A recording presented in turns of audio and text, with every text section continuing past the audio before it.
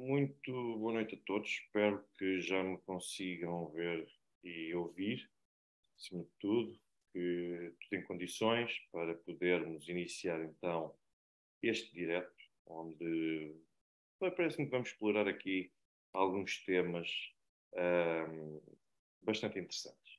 Eu começo uma vez mais por saudar e agradecer a presença de todos aqui, todos aqueles que tiverem a oportunidade, que vão colocando um gosto no canal, até para ajudar, uh, até para já de certa forma, uh, o canal também a ser, e o direto a ser promovido, a que possa ser visto pelas pessoas, acho que é uma coisa que não custa nada. Coloquem sempre aqui o gosto, coloquem também o, uh, a vossa nota no, no sino, que basicamente aqui está para que possam receber as notificações também no futuro. Começando aqui por Uh, começando aqui por alguns aspectos que eu acho que são uh, pertinentes de poder justificar. Começo por indicar-vos que as inscrições para a segunda edição do curso do Sistema Político na Rússia continuam abertas. Tenho tido, de facto, algumas inscrições em horários diferentes, uma ao fim de semana, outra num período entre as 9 e as 11 da noite, já para tentar dar resposta às solicitações de, de todos aqueles que uh, me foram pedindo que eu fizesse essa adaptação nesse sentido. Portanto, volto a falar outra vez, coloquem os gostos, não se esqueçam. E depois, entrando um pouco, muito obrigado, Sr. Fernando Newton, pela, pelas saudações relativamente à, à questão do clube. Eu gostaria agora de vos dar algumas atualizações.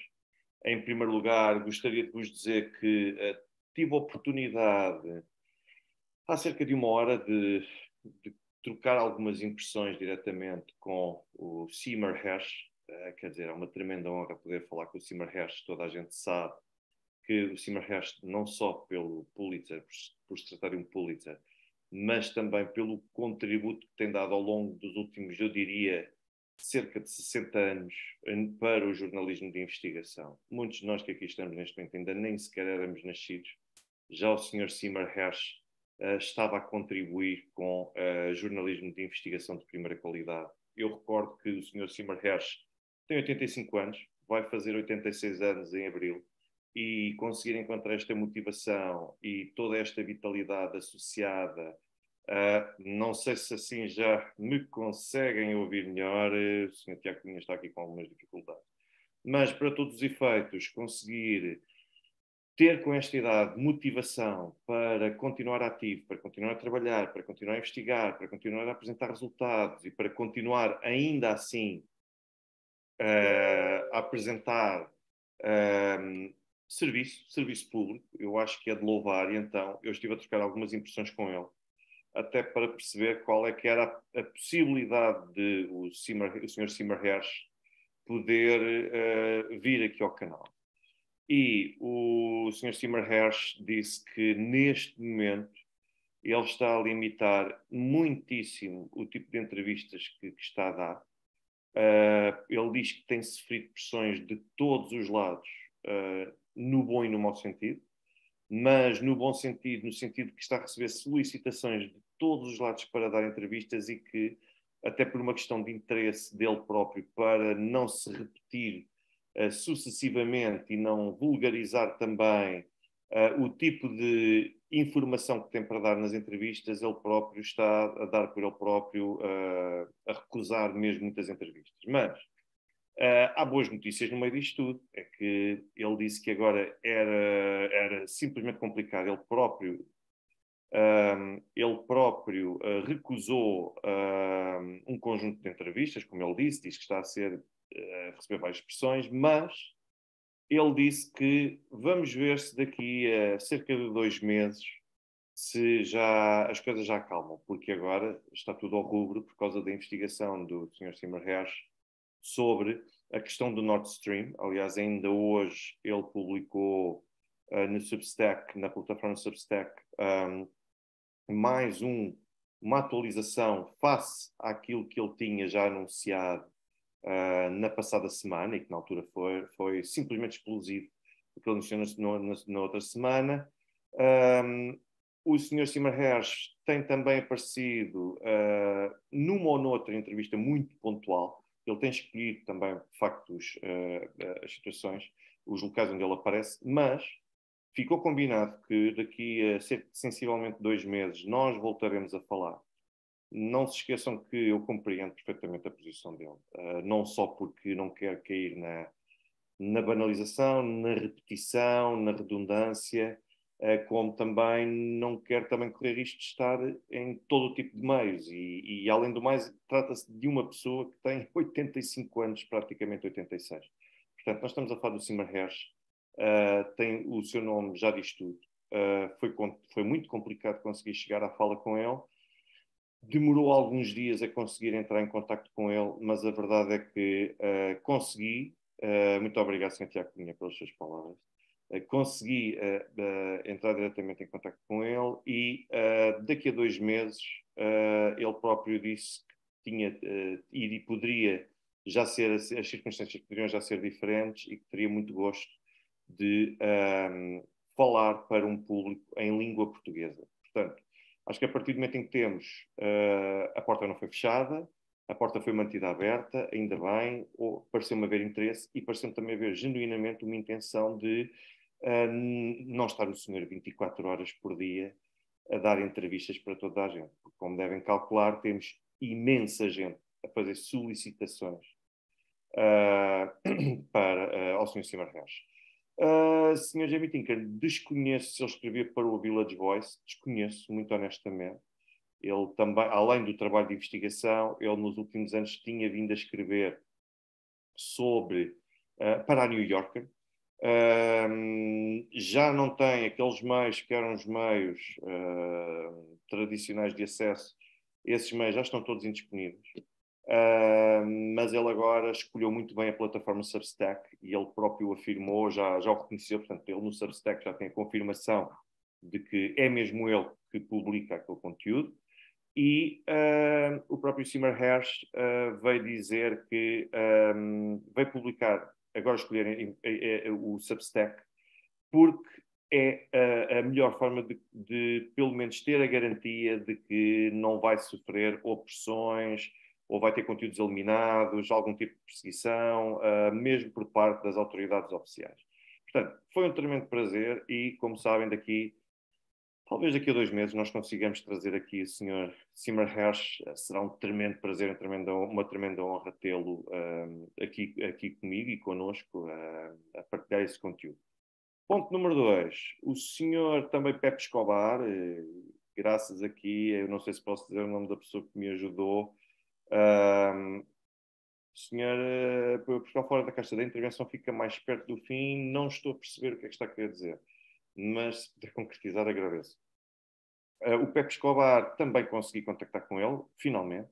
Ao fim de inúmeras tentativas, ele finalmente conseguiu encontrar um tempo para me responder. Uh, não sei se posso agradecer aqui diretamente à pessoa que também tentou aqui facilitar esse contacto. Aliás, houve mais, depois mais do que uma pessoa a tentar fazê-lo. Falei com o Pepe Escobar e uh, em março nós uh, teremos aqui, se tudo correr bem, Pepe Escobar uh, a fazer aqui um direto uh, connosco e a participar aqui com o público português, público brasileiro, público angolano, cabo-verdiano, moçambicano e até mesmo todos os portugueses espalhados por todos os outros países. Portanto, acho que vai ser um excelente convidado para estar aqui. E depois também tenho mais uma, uma pessoa que, a meu ver, é uma convidada de luxo também, uh, até pelos cargos todos que já uh, ocupou, não só enquanto uh, membro da Duma da Federação Russa, também por, por ser uma historiadora de renome, ser uma pessoa que também, de certa forma, influencia diretamente. Eu acredito, influencia, não sou a única a, a, a acreditar nisso, influencia diretamente o pensamento de uh, Vladimir Putin. Portanto, vai ser um. Eu Tive o prazer de a conhecer uh, pessoalmente, e de já conhecer pessoalmente. Estou a falar da senhora Natália Narochnitskaya, que é, uh, volta e meia, encontramos-la a ter intervenções para, um, para, para, para, para, a televisão russa, em eventos russos também, e, portanto, vai ser um tremendo prazer, também em março, Uh, também em março vem, uh, virá aqui, uh, agora neste momento, a senhora Natália Narodchnitskaya não está sequer fisicamente disponível por causa de estar em, em deslocação. Também se trata de uma senhora já com alguma idade, mas para todos os efeitos vai ser um prazer contar aqui. Como eu disse, eu tenho o prazer de, de, de, de a conhecer pessoalmente um, sei o brilhantismo que tem, tive o prazer até já de receber um livro uh, dela sobre a Crimeia, é uma historiadora de renome, uh, descendente também de, o pai dela tinha muita história, um, e, uh, e, era ligado ao ramo da história. E além disso, a senhora Narodchnitskaya, ela própria tem, além de ter vários projetos em mãos, lá está, é uma figura de, de renome, na Rússia, não só, eu tenho muita pena que os livros dela só estejam disponíveis em língua russa, porque uh, ah, a senhora Catarina Rolo, vamos ver, vamos ver se existe essa disponibilidade ou não, um, e a senhora Narodchnitskaya tem todo um repertório, mesmo a nível de produção de conteúdos, como conteúdos académicos, conteúdos filosóficos, históricos, uh, e aquilo que eu, lhe, uh, que eu vos digo é que o contributo que uh, ela tem, eu fico com muita pena. Eu, aliás, vamos ver se eu depois consigo falar com ela para nós conseguirmos fazer com que uh, alguns dos seus livros sejam, pelo menos, traduzidos para, um, para a língua portuguesa, porque esta senhora ajuda-nos a compreender a Rússia, ajuda-nos a compreender os russos, uh, esta senhora ajuda-nos a perceber o que é a Rússia hoje, como é colocar-nos verdadeiramente na pele dos russos, é uma senhora que investiga já há muitas décadas. E depois, além disso, temos também a senhora Narodchnitskaya, tem uma ligação de relativa proximidade, como eu já disse, com o presidente Vladimir Putin, portanto, e desde há muitos anos.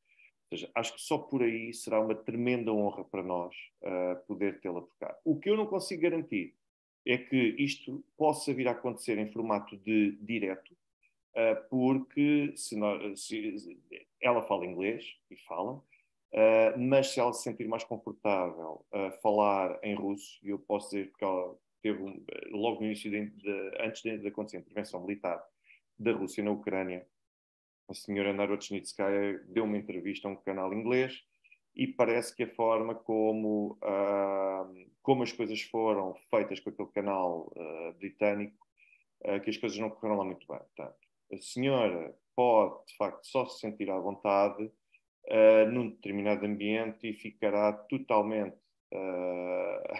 Muito obrigado por a senhora, a senhora por traduções, muito obrigado. A senhora Olga, muito obrigado. Ah, eu tenho uma notícia triste para me dar. Consegue enviar pelo WhatsApp, por favor? Nem quero saber. Eu nem, ah, quer dizer, eu quero saber, mas ao mesmo tempo não quero. Notícias tristes. Mas pronto, muito bem. Isto para vos dizer que uh, temos aqui pelo menos três convidados que mais tarde ou mais cedo viram aqui, é só para vos dar conta disso, e que eu só vos estou a anunciar agora porque tenho a confirmação de que efetivamente acabaram por cá vir. Portanto, e acho que vão ser excelentes contributos. A senhora Narodchinskaya talvez não venha no formato de direto, porque se se sentir mais confortável então a falar em russo, uh, o ideal vai ser gravarmos a entrevista e depois lançar como sendo Premier, ainda assim, acho que acaba por ser um exclusivo que nós podemos sempre conceder um, à, à, Portugalidade, por assim dizer. Portanto, uh, sim, Sr. Jamie Tinker, o que eu tento fazer é colocar os meus vídeos em, em inglês, Dobre Viacher, uh, ah, Helena Arkhipova. Uh, agradeço uh, e então agradeço-vos para todos os efeitos uh, pelo facto de, de, de, vocês continuarem a dar o apoio, peço-vos que coloquem gostos, isso ajuda a promover, para que ajudem a partilhar e, portanto, vou-vos dando, vou responder ao corrente dessas mesmas notícias. Ora bem, entrando um pouco já no tema que aqui nos trouxe hoje, portanto, já estive a dar-vos as últimas uh, novidades que acho que são muito importantes. Um, por falar nisso, o Sr. Marco Silva dá aqui Uh, o senhor Marco Silva dá aqui, tem uma imagem então do SU-57 e é curioso porque ainda ontem, aliás, eu fui alertado uh, por alguém para o facto de o ministro da Defesa da Ucrânia se ter reunido aqui em solo um, já da, da União Europeia, países da NATO, Uh, pois, exatamente. Eu continuo sempre a pedir os likes para. Vou pôr aqui tudo já como fixo esta mensagem do Sr. Fernando Newton para vocês não se esquecerem de colocar sempre os likes. E uh, o Ministro da Defesa uh, da Ucrânia esteve, o ainda Ministro da Defesa da Ucrânia, esteve presente em reunião com países da NATO e, na altura, é, curioso porque ele entrou no hotel, uh, ou pelo menos no local da conferência, peço desculpa, no local da conferência, onde, ia ter, onde ia ter lugar essa reunião e não houve nenhum único jornalista que lhe pedisse declarações. Ou seja, é, é, isso que é curioso. Ninguém teve interesse em ouvi-lo, mas não fosse se calhar, porque muitos dos que ali estavam presentes nem sequer ucranianos saberiam falar ou sequer russos, só estavam ali a cobrir uh, com base em, por dominarem línguas, por assim dizer, de países membros da NATO. Mas, uh, então o próprio, às tantas, deu meia volta e foi ele que teve a iniciativa de se aproximar dos jornalistas e uh, ele como que quis dizer aos jornalistas o que é que ele estava ali a fazer. Então ele puxa de um lenço, não sei se viram essa imagem, ele puxou de um lenço onde mostra uh, basicamente uma imagem de um F-16 estampada uh, num, num, lenço.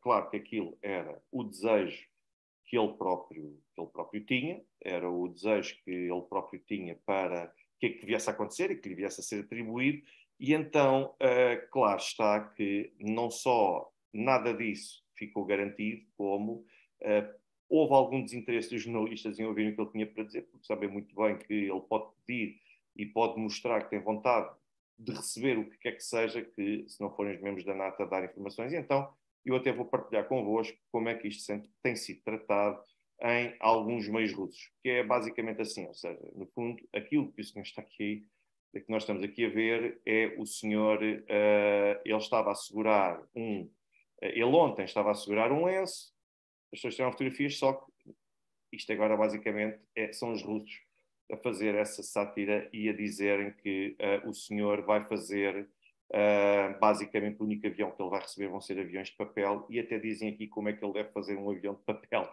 Portanto, como veem, uh, aqui está então o Ministro da Defesa ucraniano, uh, supostamente isto seria o lenço, mas não há, não há, aviões para ninguém, nem há lenço para ninguém, há apenas e sim um, um belo origami, uh, se este senhor quiser fazer. Muito bem, portanto, como veem, esta. Espera, a senhora Catarina Rol ficou bloqueada com uma live minha. Eu não sabia dessa. Se mas ficou bloqueada por algum tipo de engano da minha parte. Portanto, ficou bloqueada a senhora Catarina Rolo. Terá sido certamente sem querer e peço-lhe as minhas desculpas. Não fazia a mínima ideia que, que isso tinha acontecido, mas de facto notei que um, não era o F-16, a senhora Miguel Oliveira. Então qual é que era o, o que é que lá estava? Estampado naquele lenço. É que eu agora já só tenho a imagem do origami, mas pareceu para todos os efeitos um avião de combate. Uh, qual é que era? Não era o F-16, qual é que era? se souber de algum, se souber qual era, uh, era outro avião com duas turbinas. Ah, ok, pronto. Então pronto, ok. Uh, parecia. Bom, mas para todos os efeitos uh, não vai ter nada. E não só não vai ter nada, como isto já entra também, entrando aqui um pouco no tema que, que nos traz aqui hoje, uh, lembram-se daquela quantidade de tanques e carros de combate que toda a gente. Era o F-15? Ah, então era um F-15 que lá estava. Ok, ok, então pronto. Corrijo eh, vou, vou já despromover o F-16 que estava no, estampado no lenço e a partir de agora passa a ser um F-15. Obrigado pela correção e espero que continuem sempre a chamar-me a atenção sempre que houver estas, estas mudanças, estas, pequenas gralhas. Uh, muito bem, mas aquilo que eu acabo por poder aqui entrar é no assunto dos, dos tanques. Ora bem, quantos Leopards é que foram prometidos ainda há cerca de 15 dias que iriam ser fornecidos para a Ucrânia que isto é que iria fazer a diferença? um, e tudo mais. Uh, como vocês viram, supostamente tinham sido algumas dezenas. Depois começaram por ser os Leopard uh, 2 a 6, depois já estava afinal a ser o que era algo que os russos já estavam uh, a estudar, porque sabiam que ia ser complicado, sabiam que esses Leopards têm uma, uh, um potencial e têm um conjunto de características que, os, que lhes poderia dar muitas dores de cabeça uh, no terreno e poderia mesmo dar muitas dores de cabeça. Nada que não pudesse ser vencido com a adaptação. Aliás, os HIMARS, nunca mais ninguém ouviu falar dos HIMARS. uh, para ser até em bom rigor e para ser uh, rigoroso, lá está, no tipo de informação. Se vocês notarem, os HIMARS nunca mais foram mencionados como sendo utilizados para abater alvos militares russos. Pelo contrário, aquilo que os HIMARS agora têm servido nos últimos tempos, e o Bruno Amaral de Carvalho tem uh, veiculado isso muito bem, há um conjunto de outros meios de comunicação que também têm veiculado isso muito bem, os HIMARS têm servido agora primordialmente para atacar alvos nas províncias de Donetsk e de Lugansk. Uh, e quando eu digo alvos, digo alvos civis e também uh, alvos, mili alvos militares, ou pelo menos alvos civis contendo militares. Nomeadamente os hospitais, em conjunto outras infraestruturas, portanto, tudo isso. Uh, e não eram hospitais que eram servidos para, para efeitos de, de acolhimento, digamos assim, de, de, de, de, militares ou para servir de base militar e tinham sido evacuados o próprio hospital no que diz respeito à presença de civis. Portanto, então os HIMARS nunca mais eu ouvi falar, pelo menos nos meios de comunicação social ocidental, de algum tipo de sucesso dos HIMARS na destruição do que quer que seja. Ora bem, e isto deve-se a quê? É que é muito importante, uh, eu recordo aqui um pouco aquilo que uh, o, o primeiro-ministro Viktor Orbán uh, disse há uns tempos. É que os russos têm muita fama de começar mal, mas depois de acabar bem. Uh, e isto é curioso, portanto, e o, o primeiro-ministro Vítor Orbán fez lembrar que, sim, para já a questão do Sr. Henrique Manuel, sem sombra de dúvida, a defesa aérea, os russos já se foram adaptando, mas estas palavras de Vítor Orbán, aqui há cerca de também uns 15 dias, mais ou menos, foram muito interessantes porque não me lembro de terem sido vinculadas em meios de comunicação ocidentais, mas demonstra que se calhar é das únicas pessoas com bom senso para conseguir uh, mostrar que compreende efetivamente a forma de funcionar da Rússia. Então, lá está. Ele deu logo o exemplo da Segunda Guerra Mundial e diz que de lá para cá, realmente, em todos os conflitos, tudo aquilo que se passou em todos os conflitos uh, mostra sempre que os russos começam mal, que os russos começam bastante coxos, digamos assim, com algumas dificuldades, mas que depois, a partir do momento em que se adaptam às condições no terreno e, às, e, e, à, e, à, realidade no teatro de operações, a partir daí são imparáveis. Victor Orbán disse isto. Não sei se alguém viu em algum meio português, se, se leram isto em algum meio português ou até mesmo inglês que seja, peço por favor que partilhem comigo, tenho curiosidade em ver como é que isso foi explorado. Mas a verdade é que, eh, para todos os efeitos, uh, Victor Orbán disse isto. E a verdade é que a questão dos HIMARS uh, e, e, os erros que os russos foram corrigidos corrigindo ao longo do tempo, isto faz lembrar aquele velho ditado que, aliás, eu posso dizer que ainda bem antes da intervenção militar da Rússia uh, na Ucrânia ter iniciado, era já como se fosse o meu mote no, no WhatsApp, que é o, célebre ditado popular dos russos, vai na para cá plano. Ou seja, a guerra faz o plano. E é curioso que os russos têm essa capacidade. Há, há, uns que, de facto, começam e depois já não conseguem retomar. Se, se aquilo entra mal, se corre mal, se não ganham vantagem ao início, aquilo acaba por cair. Mas os russos não, os russos fazem o contrário. Os russos começam de uma forma assim um pouco atabalhoada, mas quando se adaptam ao adversário, quando encaixam no adversário, a partir daí torna-se complicado. E por isso é que os HIMARS, nós agora temos sistemas de defesa aérea, antiaérea do, dos russos que nunca mais se ouviu falar nos HIMARS a destruírem uh, alvos militares. Uh, a destruírem armazéns e certo tipo de posições de russas. Nunca mais ninguém ouviu falar de um sucesso do HIMARS desta natureza. E os russos, porquê? E o HIMARS era extremamente complicado. Não ia ser decisivo, embora dissessem que isto aqui ia mudar o panorama da, do conflito. Quando estamos a falar de cerca de 20 sistemas de lançamento de, de mísseis desta natureza. E a verdade é que, uh, uma vez disparados, era extremamente difícil por causa da velocidade a que os mísseis seguiam Uh, ah, então afinal o senhor, o senhor Paulo já diz que, que era um F-35. Bom, o que é que seja, o que quer que seja, o senhor ficou com origami.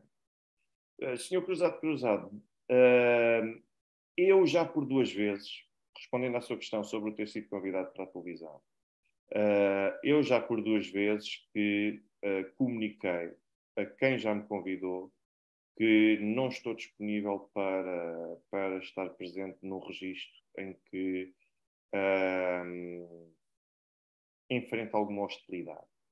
E quando eu digo enfrenta alguma hostilidade, não é hostilidade no estúdio. É hostilidade fora do estúdio e a forma como as pessoas uh, parece que tentam mostrar, por um lado, que há ali algum pluralismo, mas depois, por outro lado, tenta-se mostrar e valorizar outro tipo de coisas. E eu já demonstrei, e volto a dizer, que não estou disponível para comparecer uh, num determinado meio. Prefiro e sinto muito mais confortável uh, aqui neste canal uh, do que propriamente no meu canal. Sinto-me até muito mais à vontade na Curiacos, porque o que me motiva não é estar a aparecer para milhões, não é estar a aparecer para. Um, por uma questão de ego, para bater audiências ou o que quer que seja. O que me motiva verdadeiramente é sentir que há interesse em ouvir e compreender aquilo que eu tenho para dizer, que há formas de poder valorizar aquilo que eu tenho para dizer e não uh, ver-me como um meio para atingir um determinado fim. Eu isso não contem comigo. Uh, portanto, o que me interessa, pois é verdade, a televisão já não tem milhões e a verdade é essa. E se vocês forem ver até a nível de audiências como é que as coisas se vão processando, vocês vão vendo que uh, está num registro extremamente crítico. Eu tenho todo o gosto. Uh, vou fazer, Sr. João Pouquinho, vou fazer um, um direto também só sobre isso. Uh, o problema.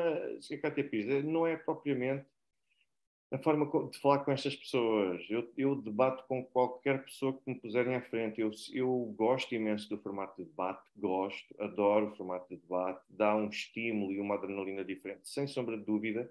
Obriga a que o raciocínio seja muito mais rápido do que é em condições normais, mas uh, o problema é todo um conjunto de outras coisas. Uh, eu agora prefiro não precisar aqui, uh, e que nem sequer se devem ao formato de, de estar presente no direto. Uh, por exemplo, eu posso passar, posso dizer que, sobretudo das últimas vezes que estive presente na SIC Notícias, eu, há um, se há jornalista que eu valorizo imenso, que eu aprecio bastante, entre muitos outros que a SIC Notícias tem, que são francamente bons, um, mas entre, entre vários que têm, são francamente bons, eu não estou aqui a criticar os profissionais, para que não compreendam isso. Não é isso que eu estou a criticar. Uh, se há pessoa, se há profissional que eu sempre valorizei bastante e que eu sempre senti um tremendo prazer em estar ali, uh, diante, com essa pessoa foi a Teresa Dimas. A Teresa Dimas, a meu ver, é uma profissional de excelência. Claro que tem todo o direito, muitas vezes vai reagir a coisas que se calhar ou não esperaria ouvir ou não contaria que fossem ditas naquele contexto. Portanto, eu, uh, eu para todos os efeitos, aprecio bastante o jornalismo, o jornalismo da Teresa Dimas e não só tive a vantagem de estar. O João Moleira também é excelente. Uh, Ana Patrícia Carvalho também. Uh, estou assim a lembrar-me de, de, vários. Um, a Nelma Serpa Pinto também. Ou seja, há, e poderia ficar aqui a anunciar outros outros. Espero que compreendam que o que eu estou a dizer não é relativamente aos profissionais. É relativamente a um conjunto de situações de bastidores que a mim, muito honestamente, não me agradam. E quando não me agradam, volto a dizer, eu não preciso, eu não preciso de aparecer uh, para afagar o meu ego. Uh, longe bons tempos, claro, quando a pessoa começa a aparecer na televisão, eu recordo que não comecei a aparecer há um ano, eu comecei a aparecer em 2016. Claro que a pessoa, ao princípio, sente que tem ali o seu ego a ser afagado naturalmente e a pessoa sente alguma vaidade, mas depois isso passa e depois chega à parte em que a pessoa tem que ter um compromisso. Se a pessoa não tiver um compromisso com o serviço público, por mais que vos paguem uh, a presença em determinados programas e em determinados meios, uh, se não se sentirem realizados com aquilo que estão ali a fazer, essa questão financeira vai ser a menos interessante de todas. Portanto, era apenas o que eu gostaria de, de, de, de vos dizer, mas para dizer que eu não preciso disso, uh, não preciso mesmo. Aliás, peço-vos que se alguém de vocês tiver algum tipo de contactos, que perguntem, seja de que canal de televisão for, quando é que algum dia um editor, um diretor, um subdiretor, uh, um acionista, quando é que alguém recebeu, desde que eu apareci pela primeira vez na televisão, um contacto meu que seja a dizer que, oh, que eu próprio mostrei que estava disponível para ir, em que eu pedi para ir, ou em que eu perguntei porque é que não ia. Uh, Digam-me um, um, e eu digo já que não há nenhum. Ou seja, ou as pessoas, de facto, nestas coisas as coisas têm de ser assim. Ou as pessoas sentem que a pessoa pode ser uma mais-valia, mas uma mais-valia em termos de substância e não para ajudar os outros a terem destaque, ou então não vale a pena. E, portanto, por isso é que eu digo, eu assim, se é para me convidarem nestes, com este tipo de, de ambiente e de hostilidade, eu peço imensa desculpa, mas não estou disponível.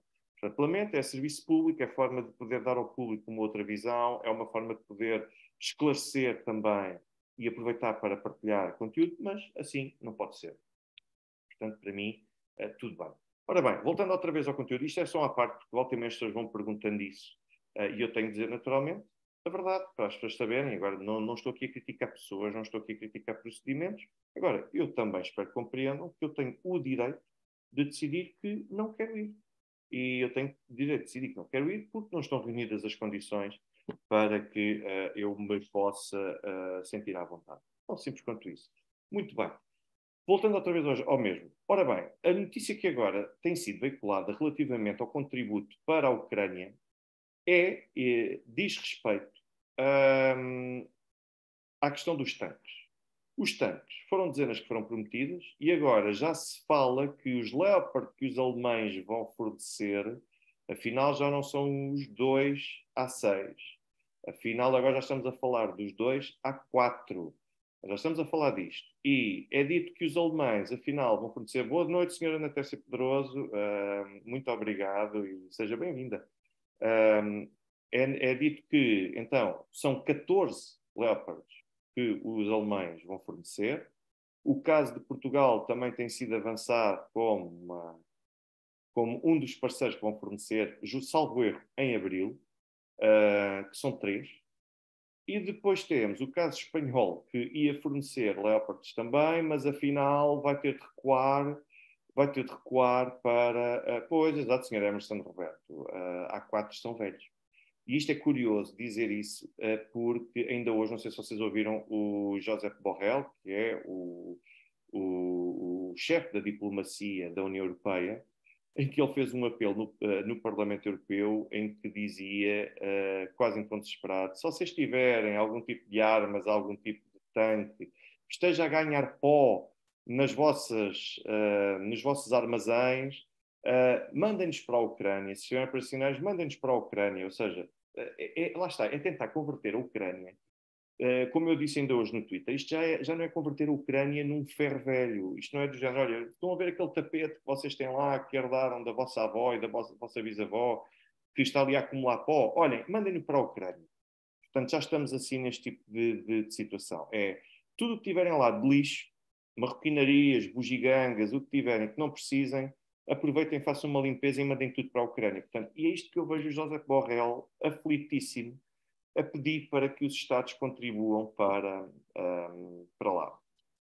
Ah, o Dmitry Lobkov, eu no outro dia esqueci-me desse nome, Sr. Filipe, Dmitry Lobkov. Vou tentar chegar à fala com ele com toda a certeza e tenho todo o gosto em, em, em tê-lo aqui. Bom, mas para todos os efeitos, hum, os tanques, depois tivemos a questão dos espanhóis. Os espanhóis também têm tanques que não estão em condições. E os polacos também estavam tão motivados em fornecer tanques que agora os próprios polacos já tiveram de adiar o fornecimento de tanques, porque os, os tanques que tinha disponíveis para a Ucrânia também uh, não estão em condições. Ou seja, com tanta promessa, com tantas dezenas de tanques que vão para o, para o terreno, agora com a promessa também que se está aqui a formar relativamente uh, à questão da, de, de, ensinar os ucranianos a pilotar uh, aviões e aeronaves de combate Uh, é curioso que, um, pois, é que os russos querem capturar e não destruir. Ora, aí é que está assim, Fernando Newton. E não sei se recorda, não sei quando é que o Pepe Escobar disse isso, mas é curioso porque ainda aqui há uns dois ou três lives atrás. Uh, muito obrigado, Sr. João Menezes, também. Muito obrigado pelas palavras. Uh, aproveitem e ponham um gosto. Não se esqueçam de pôr aqui um gosto para ajudar a promover e divulgar o canal. Um, e este direto. A verdade é que eu tinha dito aqui que para o, o, havia um grande receio. O único adulto na sala, nesta questão do fornecimento dos Leopard, estava a ser de facto Olaf Scholz. Com todos os seus defeitos, com toda a sua falta de carisma, com todos os, com todos os elementos negativos que tem, uh, a verdade é que uh, era Olaf Scholz que tinha o receio de fornecer tanques Leopard por causa disso. Com medo de que a sua tecnologia, a tecnologia pudesse ser transferida para todos os efeitos para os russos e os russos porem as mãos num Leopard 2 a 6, isto significaria que os russos iria, poderiam ter uh, acesso a componentes tecnológicas do Leopard A6 que até hoje não tenham conhecimento. Portanto, existe um fundado receio, além do elevado custo na produção de cada um destes tanques, e que estar a mandá-los para algo que a própria Alemanha é dos poucos Estados na União Europeia que têm perfeita consciência de que é, é um caso perdido, de que a, a, Ucrânia é uma questão de tempo, até de facto não ter mais capacidade de, de, de poder continuar a lutar. Não sei se ouviram também o Stoltenberg, uh, o chefe da NATO, por assim dizer, pelo menos o comandante, o secretário-geral da NATO, que veio também dizer, confirmar uma vez mais, que não há uh, projéteis e não há uh, munições mais do que su suficientes para poder fornecer para a capacidade que a Ucrânia precisa para o campo para o teatro de operações. O que é curioso, porque nós estamos a falar do conjunto de 30 países da NATO, todos unidos, mais uns quantos da União Europeia, todos juntos, todos unidos, a fornecer equipamentos, a ajudar financeiramente a Ucrânia. Muito obrigado, Sr. Pedro Oliveira, pelo contributo pelo, e pelo, pelo seu reconhecimento também.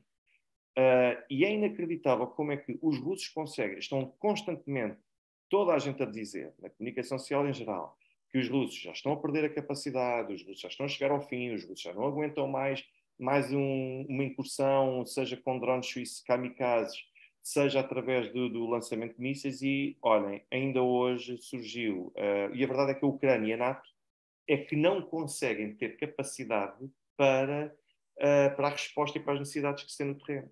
Portanto, a própria NATO já veio dizer que os ucranianos gastam demasiado para aquilo que é possível dar e é possível ajudar. E ainda há pouco estava a ver uma notícia que nos diz também que os russos estão a transferir uh, aviões de combate para a fronteira com a Ucrânia. E estão a transferir já com mísseis, uh, aviões com que vão transportar mísseis com tecnologia, por assim dizer, uh, de ponta, porque, e quando eu digo de ponta, estamos a falar do tipo de munições. E eu acho que as pessoas ainda não compreenderam, há muita gente que ainda não compreendeu o seguinte, é que a Rússia quem está a combater na maior parte da linha de contacto neste momento com a Ucrânia, ou com a NATO, por assim dizer, uh, é ou a polícia militar, aqui sim, a presença do Estado russo, mas a polícia militar, ou é o grupo Wagner, ou são os Kadirovites, portanto, digamos assim, os homens de Kadyrov, os chechenos, uh, ou então são as milícias de Donetsk e de Lugansk. As forças armadas da Rússia propriamente ditas raramente tem aparecido em, em cena. O que uh, acaba por ser extremamente importante para nós podermos compreender que os russos não estão. Uh, e uma vez mais constatar, eu digo isto há meses, os russos não estão ainda na sua máxima força, quer a nível de potencial uh, de recursos humanos, quer também para efeitos logísticos. E ainda hoje, aquela notícia então, que eu referi, de que os russos têm, estão agora neste momento a estacionar uh, na fronteira com a Ucrânia essas, uh, esses aviões de combate. Uh, isto pode fazer prever que estes aviões não estão ali por acaso e que das duas uma, ou estão a antever que possa haver uma reação mais musculada por parte dos países da NATO tarde ou mais cedo, ou então que estes mesmos aviões de combate vão ser utilizados e vão ter como fim uma nova ofensiva uh, em toda a linha por parte dos russos. Vamos tentar perceber qual dos dois é que efetivamente se vai desenvolver. Já bem, os chechenos continuam presentes no terreno, aliás, continuam também presentes uh, no Donbass, ainda a segurar, e mesmo em Zaporozhia também continuam lá presentes. Uh, mas uh, Kadyrov, de vez em quando, vamos ouvindo o que é que ele vai dizendo aqui e ali, vai, vai aparecendo a fazer algum tipo de intervenções. Uh, ainda há pouco tempo, uh, há poucos dias, tivemos a informação, a notícia de que uh, o comandante das operações no terreno, o braço direito de Kadyrov, foi alvo de uma tentativa de envenenamento. Portanto, tentaram assassinar este comandante das forças chechenas na, na, naquele território através do envenenamento. eles descobriram, conseguiram perceber. Portanto, um, e aqui diz o Sr. Marco Silva o que acha do anúncio do Starlink ser desativado na Ucrânia. Se acha que é bluff, sinceramente, acho que é bluff. Uh, acho que é bluff, porque uh, eu volto a dizer aquilo, a opinião que eu já dei aqui do uh, Elon Musk, é que o Elon Musk é um tretas, aquilo que se diz de um tretas. Ele diz aquilo que tiver de dizer em troca de gostos, partilhas, ser falado, menções, interações, ou seja, Elon Musk é muito assim. Um, e a verdade, aliás, não sei se vocês viram o episódio que aconteceu no Super Bowl, o Elon Musk publicou dois tweets para tentar ter eh, muitas interações e, e ser muito visado pelo público. Num, teve eh, alguns milhões de, de interações com o público. No outro que ele publicou, teve cerca de 9 milhões, de interações e achou que era demasiado fraco para a pessoa que é e para uh, a pessoa que uh, ainda por cima dirige o Twitter. Então, qual foi a solução do Elon Musk? Foi pedir uh, aos seus informáticos e até pediu ajuda a outros utilizadores do Twitter que tivessem conhecimento nesse sentido para poderem ajudar a alterar o algoritmo de modo a que o Elon Musk funcione como uma espécie de voz de Deus que chega a todos os utilizadores e com quem todos os utilizadores querem interagir, querem citar, querem pôr gosto e querem partilhar. Portanto, é assim, a, falta de relevância perante a frustração de não ter a relevância pretendida, eu recordo, por exemplo, o Elon Musk comentou jogos do Mundial, uh, quer dizer, ridículo, um gol foi marcado, penalti de um jogo qualquer, e o Elon Musk pôs uh, que grande gol que foi marcado pelo não sei quantos, quer dizer, é, nota-se que é alguém que não faz a mínima ideia do que é a modalidade, alguém que só está ali a publicar coisas para receber atenção. O Elon Musk precisa de receber atenção. Uh, e, portanto, isto do Starlink, esta polémica de dizer não, nós não vamos ajudar porque isto tinha fins humanitários, bem, para já isso é uma treta. Starlink foi, foi criado, foi desenvolvido, foi uh, partilhado com os ucranianos exatamente para o esforço, com vista ao esforço militar ucraniano. Portanto, isto dizer que o Starlink é uma, um projeto uh, de cariz humanitário é, é, é, é, o Elon Musk a ser tretas como ele costuma ser. Então, não há outra forma de o poder descrever. Mas, uh, isto para vos referir quanto à questão do Starlink. Agora, ainda voltando ao terreno, a verdade é que eu vejo as informações que estão no terreno, eu continuo espantado porque há pessoas que me interpelam no, no Twitter. Então, não tem nada para dizer. Um, foi em 2020, senhora, senhora por traduções, foi, eh, eu não vou dizer o seu nome, não sei se quer revelar o seu nome, mas naturalmente que eu sei. Uh, foi em 2020. Uh, eh, Putin ainda está incerto sobre a candidatura à reeleição em 2024. Na minha opinião, quem é o próximo? Uh, na minha opinião, aquilo que eu digo é que se o presidente renunciar, o candidato, o político que diretamente sucede a Putin, de acordo com a Constituição da Rússia, é o primeiro-ministro. Portanto, Mikhail Mishustin acaba por ser uh, aquele que, se Putin agora morresse, se Putin tivesse de renunciar, o que quer que fosse, era Mikhail Mishustin que lhe sucederia, ainda que interinamente, durante três meses. Eu acredito que não é por acaso que Putin escolhe uh, determinadas personalidades para serem, uh, para desempenharem funções como primeiros-ministros no no, no governo da Rússia, não é por acaso. E eu acredito que Mikhail Mishustin, de certa forma, a, a, a, Constituição russa foi revista em 2020 para poder, de certa forma, permitir que o presidente tenha um controle maior sobre o governo. Uh, o que significa que o, o primeiro-ministro não pode ser uma figura como, por exemplo, Dmitry Medvedev foi, ou seja, é alguém com visibilidade, ainda que tivesse uma baixa popularidade. A verdade é que Dmitry Medvedev, com este discurso que tem assumido ao longo do último ano, tem vindo a recuperar e a subir na taxa de popularidade. Acho que tanto Lavrov como Shoigu, acho que não são, isto é um achismo meu, isto é um achismo meu, acho que tanto Lavrov como Shoigu não têm uh, o suficiente para poderem ser presidentes da Rússia. Uh, eu acho que neste momento, se acontecer alguma coisa, Mishustin vai suceder, mas parece-me que as coisas agora cada vez mais estão a ser preparadas para que, se tudo se mantiver naturalmente, Putin possa concorrer novamente em 2024, uh, eh, para o ano que vem, e que a ter de ser, de, de, de ter alguém a suceder seja Medvedev. Medvedev, ao longo do último ano, como eu disse, tem vindo a recuperar carisma, tem vindo a recuperar uh, a popularidade, sobretudo pelo seu discurso, que tem sido um discurso que serve com o objetivo de servir de ponte entre os adeptos mais fervorosos e mais radicais, entre aspas, por assim dizer, da intervenção militar. Assim, a senhora Elvira Nebulina, que é governadora do Banco Central, é outra personalidade que também daria uma ótima primeira-ministra. Tenho dúvidas que pudesse dar uma. tivesse carisma suficiente para ser candidata à presidência da República neste momento. Mas, como primeira-ministra, eu acho que a senhora Elvira Nebulina que seria, sem sombra de dúvida, uma excelente personalidade. Aliás, esta senhora é um gênio a nível económico e nota-se que não é por acaso que nós já vamos para esse pacote de sanções. Portanto, Lavrov, acho que não vai, acho que não é essa a personalidade. Eu estaria inclinado entre Mikhail Mishustin e Dmitry Medvedev. Mas constitucionalmente, se alguma coisa acontecer ao presidente da Rússia neste momento, ou mesmo Putin concorre em 2024, seja obrigado a renunciar, interinamente pelo menos, quem lhe sucede é uh, Mikhail Mishustin na qualidade de uh, presidente do governo, chefe do governo, entre aspas, por assim dizer. Ora bem, mas uh, eu continuo a achar que as pessoas uh, estão convictas que a Rússia, no campo, ou que a aliança pró-russa, no campo de batalha, tanto em Ugledar como também em Bakhmut, ou Artyomovsk, que estão a perder que os russos estão a perder e que os russos estão a recuar e que estão a, a, a sofrer derrotas copiosas. Vamos lá ver uma coisa.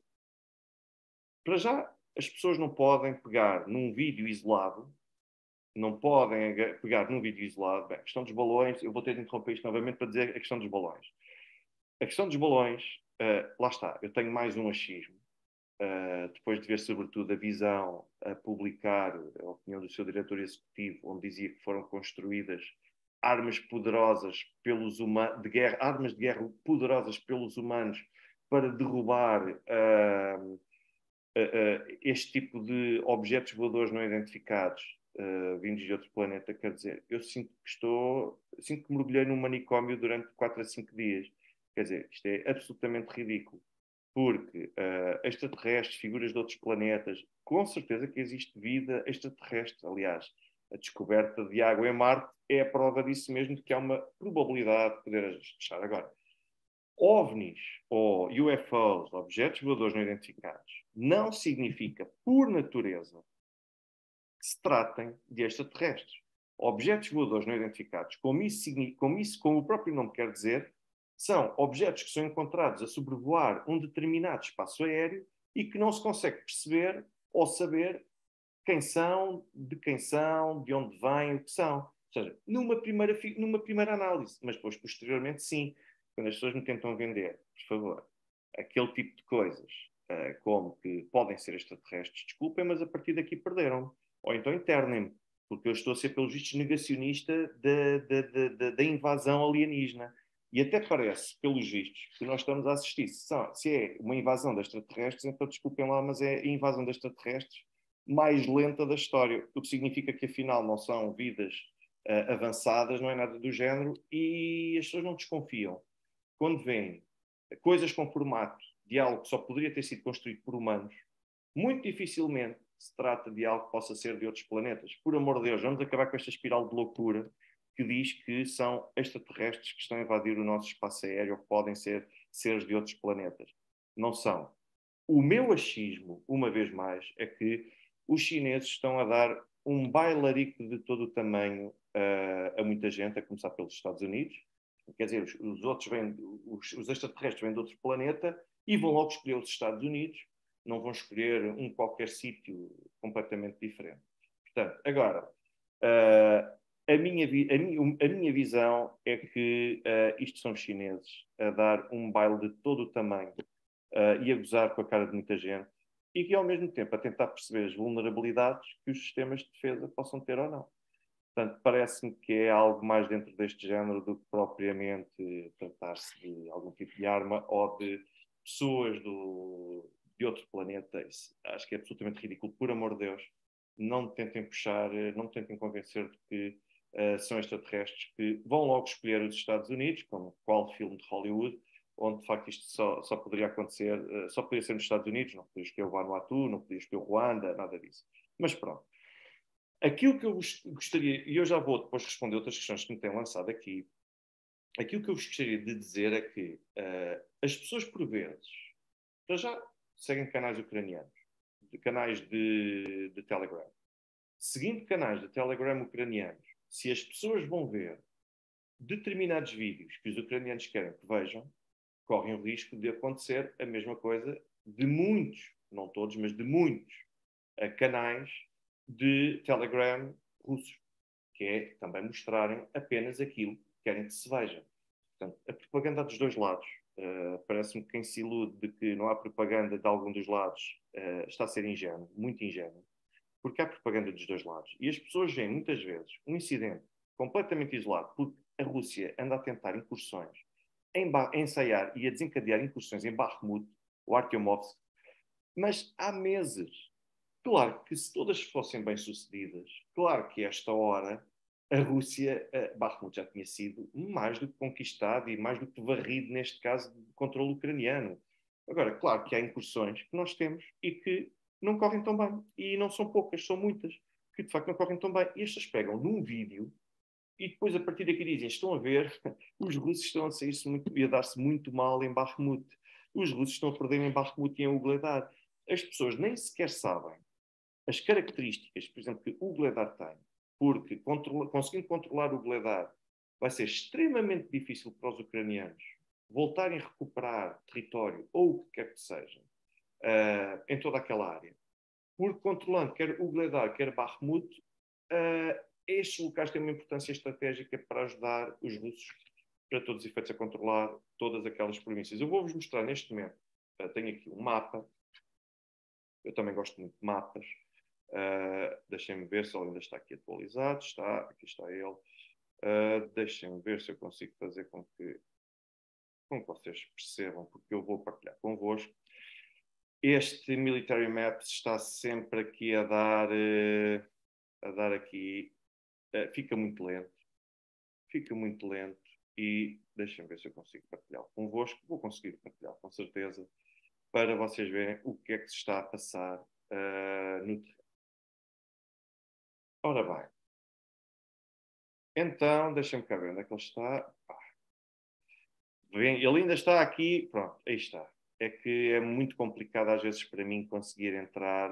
Acho que é, eu, eu, tenho um péssimo hábito, é que eu tenho três navegadores, uh, Safari, Chrome e o Firefox, e depois dentro de cada um deles eu tenho umas 10 a 15 janelas sempre abertas em simultâneo. Eu só consigo trabalhar e funcionar assim. A desorganização é a minha forma de organização neste caso. Eh, e consigo dar muito bem com isso. Então, depois isto às vezes tem constrangimentos que é colocar lento uh, o computador quando eu tento abrir coisas deste género que estão a ser atualizadas e, e onde vão ser injetados in, os incidentes em tempo real. Portanto, como veem, aqui uh, está sempre qualquer coisa uh, a acontecer. Deixa ver se eu consigo fechar mais umas quantas janelas. Com muita pena minha, ela vai ter de ser para pôr este, este tipo de informação aqui uh, a rolar em primeira mão. Deixem-me adivinhar. Ah, ok. Então pronto. Muito bem. Aqui estamos nós, uma vez mais, neste site. Bom, isto bloqueou aqui, mas eu queria reduzir, mas é para vocês, era para vocês verem que Barmut está aqui. Um, a parte leste, pronto, agora é que mais.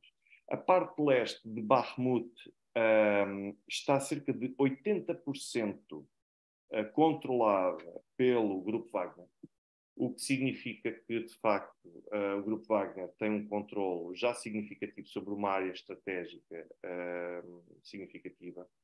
Uh, vejam que a linha vermelha é a linha que delimita a fronteira provincial daquilo que era no mapa administrativo da Ucrânia, cada uma das províncias em causa.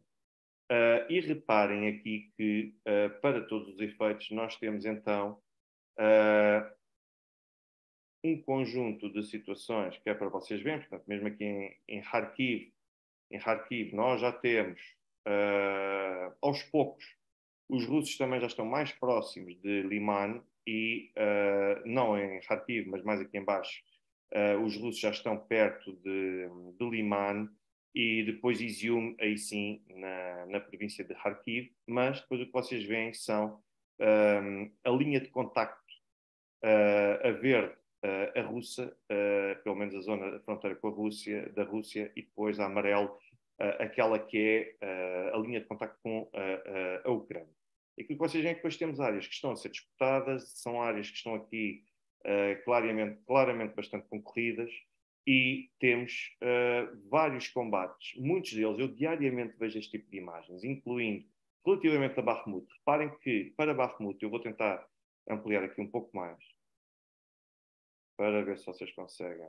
Uh, isto não está fácil, gostava de mostrar isso, mas não está fácil. Reparem que Bakhmut está aqui, e aquilo que nós começamos a notar, Saledar já está lá para trás, mas nós notamos que há aqui uma intenção de formar um cerco em torno de Bakhmut. É mais fácil formar o cerco em torno de Bakhmut do que atravessar Bakhmut à direita. Uh, isto tem a ver com a morfologia naturalmente da região, com a forma como está organizada e como as coisas estão naturalmente uh, instaladas também no, uh, no terreno. E a partir daqui, aquilo que nós vemos é que os russos continuam a expandir. Eu vejo diariamente os registros das operações. Reparem que ainda aqui há 15 dias nós não tínhamos esta área já aqui sob controle dos russos. Não tínhamos de perto nem de longe, mas os russos estão a tentar contornar por aqui para tentar criar um cerco e, à partida, na data, à data de hoje, o cenário mais provável de acontecer será, reparem, que eles continuam também os russos a tentar subir por aqui para dar uh, para dar a volta e conseguir montar o cerco. O objetivo, ou pelo menos aquilo que vai acabar, o cenário mais provável de acontecer aqui, com base na situação no terreno hoje, e até à data de hoje, ao longo dos últimos dias, é que Bakhmut venha a ser uh, uma futura Mariupol. Porque a Zelensky insiste que os ucranianos não podem abandonar Bakhmut, mas a verdade é que, neste momento, os uh, ucranianos têm investido só na zona de Bakhmut entre 40 a 50 mil militares, o que é uma parte significativa da, da força de combate que os ucranianos têm para o país todo. E está concentrada nesta frente de Bakhmut para impedir que essa barreira seja uh, derrubada. Este mapa tem uma particularidade, é que este mapa vai injetando conteúdos uh, quase de forma instantânea. Portanto, assim que há notícia de algum tipo de incidente, eles vão localizar o sítio onde aconteceu e depois, uh, com certeza, que há lugar a essa mudança. Este é o ponto de situação, ou há lugar a essa notificação. Este é o ponto de situação neste momento, em Barremut, como podem ver. Mesmo o Gledar também tem uma morfologia muito específica, não é fácil entrar naquela zona, muito menos nas condições climáticas ou atmosféricas atuais. Portanto, é preciso ter cuidado uh, e, alguma e, e, é preciso não fazer este, este tipo de coisas. Uh, se façam com ligeireza, porque fazer uma análise com ligeireza deste tipo de coisas, a pessoa agarra num vídeo e diz: Ah, estão a ver os russos a passar dificuldades em Ugledar e em Bakhmut. Bom, ninguém disse que ia ser fácil. Se fosse fácil esta hora, os russos já lá estavam há, há muito tempo agora. Daí a generalizar e a mostrar que esta é a situação de Bakhmut, eu peço imensa desculpa, mas isso é pura desinformação. Os russos estão, têm a vantagem de ter o controle de toda a situação neste momento uh, relativamente à frente na Ucrânia. Uh, não, não, não é o, não é o Kremlin que, que, que edita o mapa. Uh, este mapa recebe uh, injeções de conteúdos por parte de meios ucranianos, meios russos e meios de todo o tipo. E só depois, com o tempo, à medida que existe a confirmação de que determinadas posições já estão consolidadas, só aí é que é atualizado o perímetro de controle sobre cada uma das forças. Portanto, não é atualizado pelo Kremlin, não é todo. Mas aquilo que eu gostava de vos dizer de facto é isto: é que não se iludam com as imagens que têm sido uh, avançadas, de que os russos não estão a conseguir, estão a conseguir. Aliás, há vários pontos em que, na totalidade, os russos já avançaram, só nos últimos dias, cerca de 3 km, 3 km, em áreas adversas como esta. E quando eu digo adversas, não é só por causa do fogo armado, do fogo que ali está ou, do, ou do, da qualidade do inimigo, é mesmo por própria, as próprias cidades e a forma como estão organizadas e estruturadas uh, dificultam o progresso e o avanço no terreno, por si só. Por mais tanques, carros de combate que se tenham, porque está repleto de bunkers, porque está repleto de sítios para as pessoas, se, se, para, que, para que os militares se possam uh, proteger, é extremamente difícil. Mas os russos estão a avançar. E a verdade é que eu vejo todos os dias que sempre que os ucranianos tentam uh, colocar-se uh, cabeça de fora, por assim dizer, que é, têm a, a, a tentação de, de, querer avançar para expulsar e afastar os, uh, os russos de um determinado local, os russos não só luxo de poder esperar que eles o façam para depois os conseguirem eliminar. E há relatos diários de 200 a 300 com muita facilidade ucranianos que todos os dias acabam por ser eliminados por causa de ações desta natureza. E quando assim é, eu tenho dificuldades em afirmar que ainda exista uma Ucrânia propriamente dita no terreno. Uh, e quando nós vemos o presidente Zelensky insistir, ah, lutem, lutem, resistam, resistam, é tão fácil pedir isto, resistam, resistam, resistam, mas se alguém for pedir ao irmão ou ao primo de presidente Zelensky ir para a frente de combate, a pessoa calma, a pessoa já hesita e já pensa duas vezes. Um, e neste momento a Ucrânia continua a caminhar, eu volto a insistir, com base naquilo que existe no terreno, com base naquilo que os russos estão a começar a avançar, com base naquilo que eu vejo que os russos estão a preparar junto à fronteira, com base em todos os reservistas que já foram mobilizados, é extremamente complicado que eu veja como é que a Rússia vai perder uma coisa destas. Agora, há, há, há nuances que acontecem sem estarmos à espera. Há. Houve um sismo na Turquia que uh, mudou completamente a vida na, numa boa parte do país e na Síria sem sombra de dúvida. Estas coisas podem acontecer, mas se não houver nada de inesperado desta natureza, eu não consigo perceber como é, quanto tempo mais aqui a Ucrânia vai conseguir uh, uh, resistir. E quando eu depois ouço representantes da NATO a dizerem, ou mesmo da União Europeia, como o Borrell, o senhor Borrell vem dizer ah, os tanques vão ser, vão ser muito úteis na primavera, mas vão ser úteis na primavera para quê? Para quê? Portanto, é tão simples quanto isso. Muito obrigado, Sra. Susana Rodrigues, pelas suas palavras de confiança e de reconhecimento. Temos de ajudar as pessoas a perceber aquilo que se está a passar. E a verdade é que todos os dias os russos continuam a dizimar uma data de posições e de soldados ucranianos. Uh, há russos que morrem? Há. Agora, a proporção que existe, e com base nos números que estão sendo conhecidos, uh, são tão opostos, são, são, são tão diametralmente opostos, que não é possível sequer comparar uma situação com outra, até pelo potencial que a Rússia tem de poder fazer render e de poder substituir uh, estas coisas todas. Portanto, aquilo que eu vos posso dizer neste momento é que os ucranianos continuam a perder pessoas, vão continuar a perder pessoas. Aliás, nota-se, é notória a incapacidade, porque aqueles que estão a ser mobilizados, por exemplo, à frente de Bakhmut, são reservistas e muitos, de, a esmagadora maioria deles sem experiência militar a tensão do próprio poder político ucraniano e das autoridades locais com uh, as pessoas no terreno, por causa do recrutamento coercivo, por causa da forma como, são, como os homens são literalmente caçados para irem para a frente de combate, uh, isto permite perceber que, mesmo que estejam experientes a ir para a linha da frente, não estão motivados. E a pior coisa que pode acontecer é isso, é o não estarem motivados. E depois as pessoas não compreendem quando os russos retiraram de uh, perto de Kharkiv, quando os russos retiraram de Izium, quando os russos retiraram de Kherson, as pessoas não compreendem, veem isso como uma, como uma forma de fraqueza, porque nós vivemos numa sociedade extremamente orgulhosa em que nós só podemos dar passos em frente, nem que o passo em frente seja para o abismo. E eu recordo que, por exemplo, na Primeira Guerra Mundial, se calhar, não sei se, se, se mais gente tem conhecimento disto, na Primeira Guerra Mundial, os alemães renderam-se sem que as forças uh, aliadas pisassem território que era alemão. Ou seja, não foi preciso entrar no território e conquistar os alemães, os, os alemães renderam-se antes.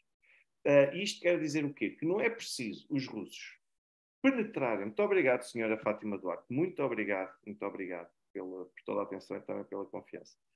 Eh, eu aproveito e apelo a todos, aqueles que ainda não fizeram, se puderem, que deixem um gosto, façam uma partilha do, do direto, ou até mesmo também depois do vídeo no final. e, mas se derem o gosto, isso já ajuda a promover bastante o canal, acho que é extremamente útil. Mas na Primeira Guerra Mundial isto foi assim. Ou seja, a frente da Alemanha na Primeira Guerra Mundial desmoronou-se exatamente por causa da falta de visão na na possibilidade de recuar e de saber recuar como forma de manter a, a for, todas, as suas, todas as suas forças e todas as suas forças militares, ou todos, os seus militares, uh, devidamente sólidos na forma como defendiam e também como atacavam. Muito obrigado, Sr. Pedro Rodrigues. Uh, e aquilo que nós estamos a ver por parte da Ucrânia é em tudo semelhante a isto. Ou seja, eu estou a ver, os russos souberam recuar, porque se os russos continuassem na margem direita do, do rio Dnieper, portanto em Kherson, aquilo que nós poderíamos correr o risco de ver seria os russos até poderiam ganhar num combate. Eu ainda no outro dia estava a ler uma, uma peça que estava a dizer que os russos tinham 90% de hipótese de vencer um combate na margem direita do rio Dnieper. Mas a que custo é que eles iriam vencer uma batalha, um combate não, uma batalha? A que custo é que os russos iriam vencer uma batalha nessa margem direita uh, do lado de Kherson? Qual era o custo? E o custo seria, os russos iriam perder imensos homens. Eu recordo que só ali estariam perto de 20 mil naquela margem direita do rio Dnieper, em Kherson. Uh, iriam perder imensos homens e iriam ajudar a desequilibrar todo o restante esforço que o, o, os russos pudessem precisar para poder recuar, reorganizar e depois sim poder avançar, mas sempre mantendo a coesão. E, eu, e é isto que deixa, eu estou convicto que é isto que deixa frustrados uh, os ocidentais.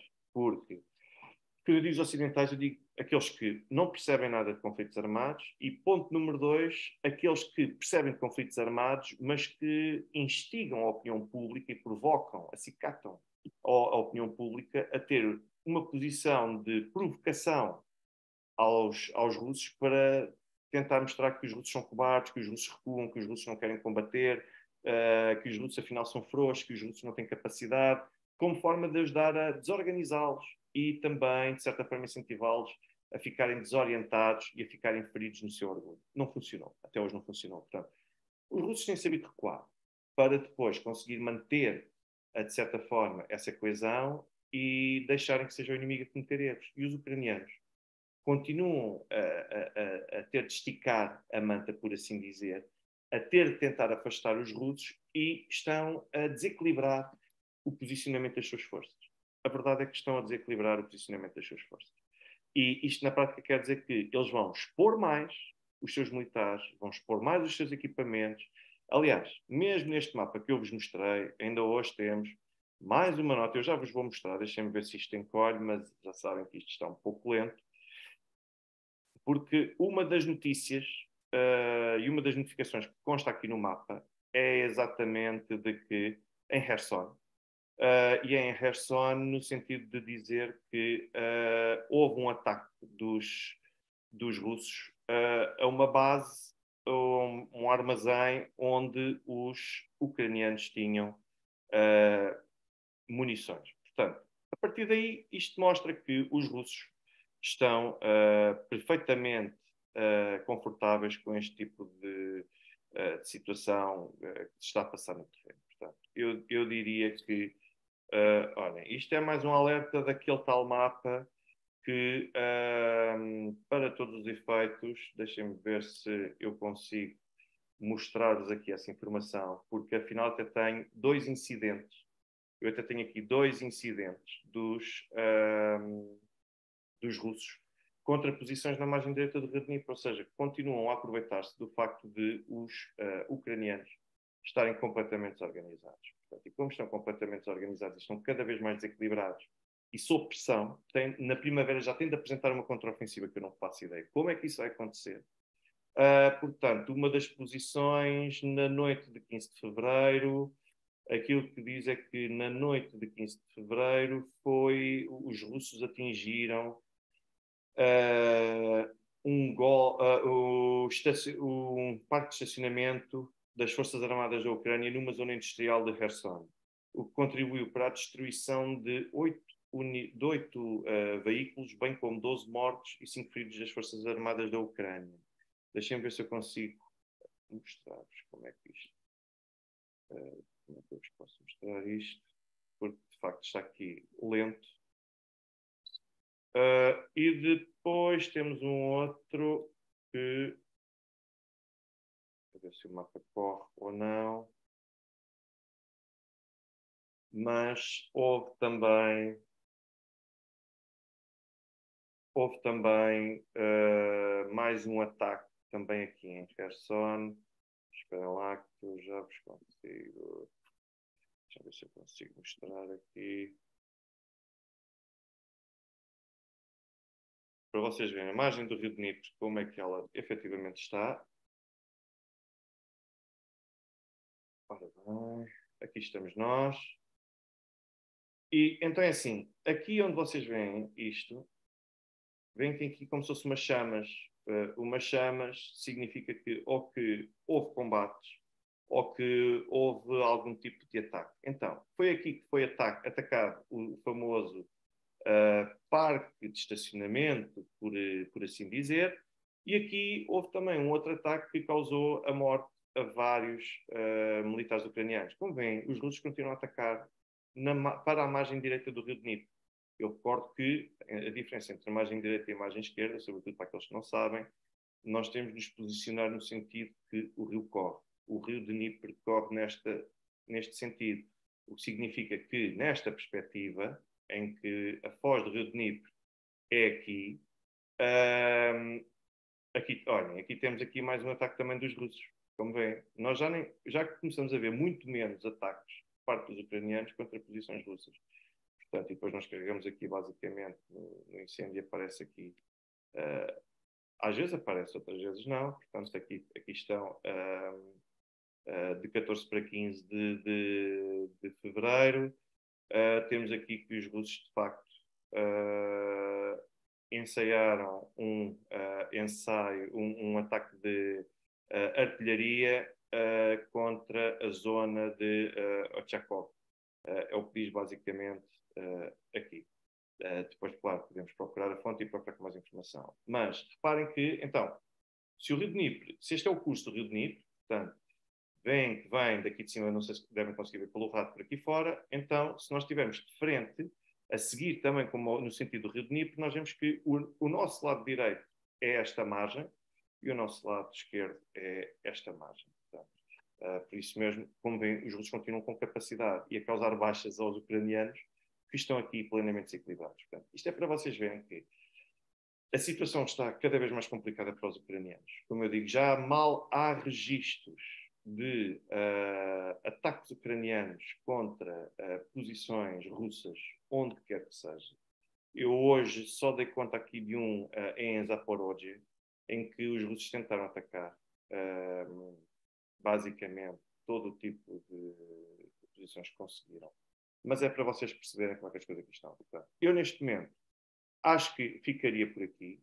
Eu amanhã espero trazer-vos um direto onde eu vou falar sobre a situação na Hungria, nomeadamente a forma como uh, está a ser uh, preparado um conjunto de ações para uh, que seja possível que aconteça uma revolução colorida na Hungria contra e que venha a derrubar Viktor Orbán e que venha a derrubar também o seu Fidesz. Nós tivemos ações por parte da USAID, sobretudo através da sua diretora Samantha Power, que é casada, aliás, com o Cass Sunstein. Quem, quem, está, quem já leu o Cass Sunstein sabe-me perfeitamente quem é o senhor. Uh, sabe também quem será a senhora Samantha Power e aquilo que ela tem feito é uh, um conjunto de ações com vista a capacitar a sociedade civil para uh, democracia e direitos humanos. Onde é que nós já vimos isto? O que é que andaram a fazer relativamente ao Euromaidan?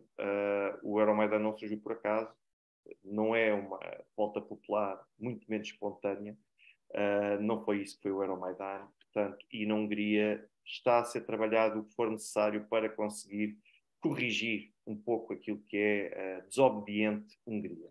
Mas, portanto, amanhã espero trazer-vos esse conteúdo uh, com alguma informação não só sobre a intervenção do USA, bem como uh, a opinião sobre porque é que George Soros é tão mal acolhido na, na Hungria. Uh, portanto, e espero poder partilhar todo esse conjunto, toda, toda, toda essa situação convosco. Não sei, eu, vocês fizeram-me imensas perguntas, eu agradeço imenso. Muitas eu não consegui sequer ler ou responder, porque, como devem calcular, olhando para os mapas e olhando para um conjunto de outras, de outras posições, acaba por ser uh, muito complicado conseguir prestar uh, atenções a tudo. Ainda assim, aqueles que ainda não colocaram o gosto, eu vou pedindo que, se puderem, coloquem o gosto, é extremamente importante para que o canal uh, possa ser valorizado, para que o canal possa apresentar-se. Mas, em traços gerais e em de conclusão, eu posso dizer que ainda existe Ucrânia no terreno, mas a verdade, como vocês sabem, a Ucrânia está a representar a NATO, é a NATO que está no terreno destacadíssima. E a prova de que as coisas estão a correr pessimamente para o plano da NATO, para aquela região, é exatamente o facto de. Um, é exatamente porque os, um, porque os russos conseguem resistir, porque os ucranianos têm cada vez menor capacidade para conseguir uh, fazer face aos russos e a Ucrânia está no terreno, mas neste momento está com uma posição muito mais defensiva. A perspectiva e a vocação ofensiva dos ucranianos reduziu substancialmente face àquilo que era, até pelo menos ao final do ano de 2022. E para a semana vamos ter, então, no próximo dia 21, uh, meio, ao meio-dia, hora local, uh, o presidente Vladimir Putin vai falar à nação. Uh, vou fazer um direto antes de, disso acontecer e eu estou a tentar organizar as coisas para que possa haver uma tradução a partir do meu canal. Ou seja, houve várias pessoas a pedirem uh, algum meio de confiança que possa traduzir para português uh, e que não seja um meio tradicional, por assim dizer, da, da comunicação social, em que cortam as coisas, fazem entendimentos diferentes. Uh, depois há certas traduções, então, que só vêm determinados trechos de, daquilo que é, que é dito por Vladimir Putin. E então eu estou a tentar ver se consigo ter alguém que possa traduzir em direto, em simultâneo, a partir do meu canal. Uh, sobre a questão da Moldávia, muito obrigado, Sr. Paulo Sousa, e muito obrigado a todos aqueles que têm estado aqui presentes.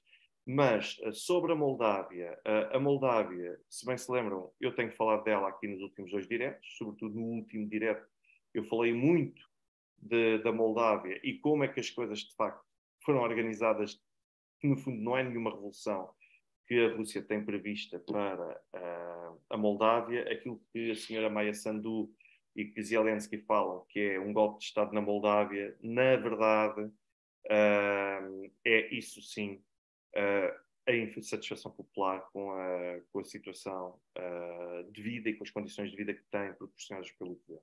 Portanto, isto não é por acaso, não é surpresa nenhuma. Se o governo quer ser pró-Europa, então tem de garantir que o facto de ser para a União Europeia que vai trazer algum tipo de valorização para, para, para, para, a, para, a, para a população. Diz o Emínium, uh, Senhora Capuchinho Vermelho, bem-vinda, muito obrigado. Uh, diz o Sr. Emínium, há quem diga que tenha a ver com a anexação formal da, da Abcácia e da Ossétia.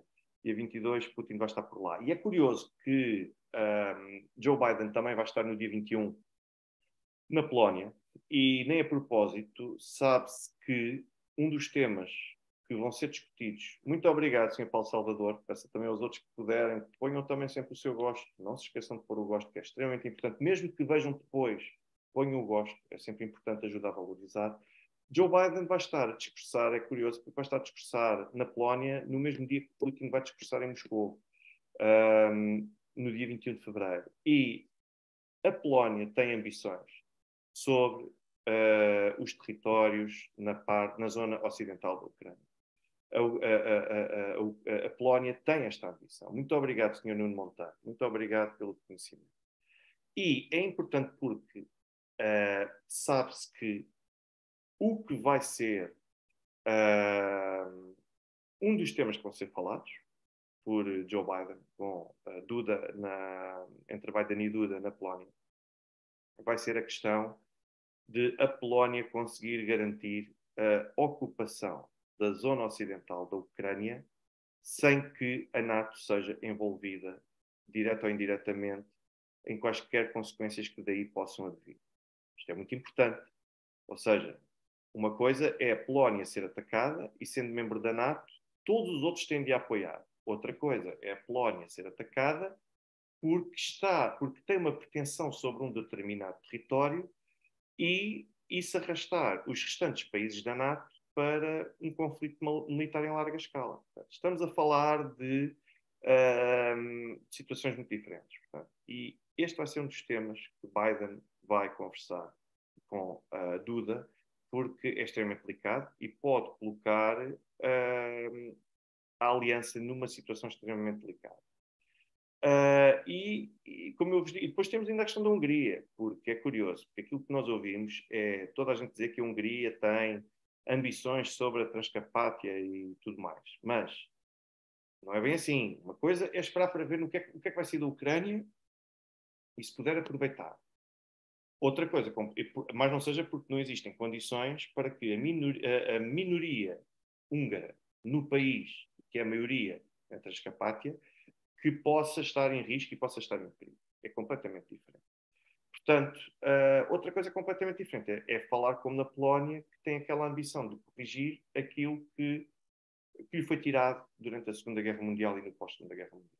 Portanto, eu por hoje ficaria por aqui. Agradeço a todos aqueles que uh, têm dado quer o contributo financeiro, seja através do YouTube, seja através do MBWay, seja através do PayPal, seja através do Revolut, uh, seja pelos vários meios. Portanto, eu agradeço imenso uh, a todos a vossa intervenção, uh, os vossos, a vossa ajuda. Agradeço também a todos aqueles que vão partilhando os conteúdos do canal e vão colocando o seu gosto, vão, vão partilhando não só o vídeo em direto, vão partilhando também o próprio canal. Agradeço a todos os que se têm inscrito nas duas novas sessões do curso O Sistema Político na Rússia, que vai ser, que está a ser organizado por mim uma vez mais. Uh, e agradeço também a todos aqueles que deixam os comentários, que deixam as dúvidas, que, que deixam aqui as intervenções, todas elas extremamente pertinentes. Sr. José Francisco Fernandes, sim, o Benfica ganhou, ganhou 2-0. Uh, agradeço imenso a todos e uh, só posso fazer votos de que todos tenham uma boa noite e